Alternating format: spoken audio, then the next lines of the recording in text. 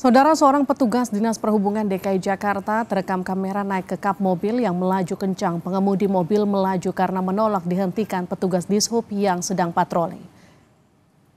Peristiwa berbahaya ini terjadi pada Rabu 3 Januari ketika petugas Dishub sedang berpatroli di Kecamatan Setiabudi, Jakarta Selatan. Petugas kemudian berusaha menghentikan pengemudi minibus yang diduga mengacungkan jari tengah pada petugas untuk menanyakan maksudnya. Namun pengemudi tersebut menolak, berhenti dan melajukan kendaraan. Seorang petugas yang hampir tertabrak terpaksa melompat ke atas kap mobil. Pengemudi tersebut bahkan melajukan kendaraannya secara zigzag. Petugas tersebut baru dapat turun dengan selamat di kawasan Menteng, Jakarta Pusat.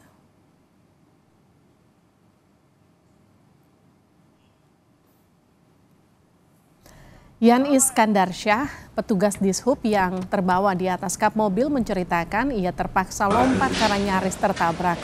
Menurutnya petugas berusaha menghentikan pengendara yang diketahui bernama Andika Randa karena ingin mengklarifikasi alasan mengacungkan jari tengah sambil memvideokan para petugas dishub. Namun pengemudi terus melaju bahkan sempat menyenggol sepeda motor.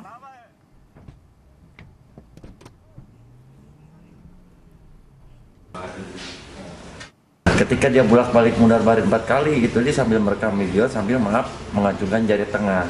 Maksudnya petugas tuh berinisiatif untuk menanyakan untuk mengklarifikasi maksud dan tujuan apa merekam dan mengacungkan jari tengah.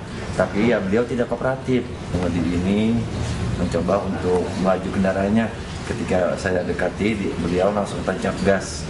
Sehingga saya dengan refleks megang wiper saya loncat ke kendaraan tersebut saya megang ke mobil Avanza tersebut. Dia langsung tancap gas dan membawa kendaraannya itu dengan begitu cepat lanjut jigak dia